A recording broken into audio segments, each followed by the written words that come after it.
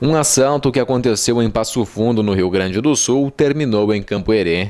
A ação aconteceu na noite de segunda-feira, quando três assaltantes tomaram uma Tucson e fizeram dois homens reféns, fugindo em direção a Santa Catarina, os liberando na região de Nova Itaberaba.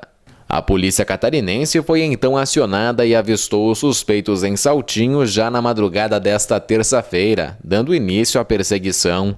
Após furar um bloqueio montado em Campo Herê, o trio abandonou a caminhonete e fugiu a pé para o Matagal. As equipes começaram as buscas na mata e um dos suspeitos foi detido ainda na madrugada. Por volta da uma da tarde, os outros dois assaltantes de 17 e 19 anos foram encontrados na região do bairro Primavera. Com eles foi apreendido um revólver calibre 32 com cinco munições intactas. O trio foi levado à delegacia, onde o conselho tutelar foi acionado.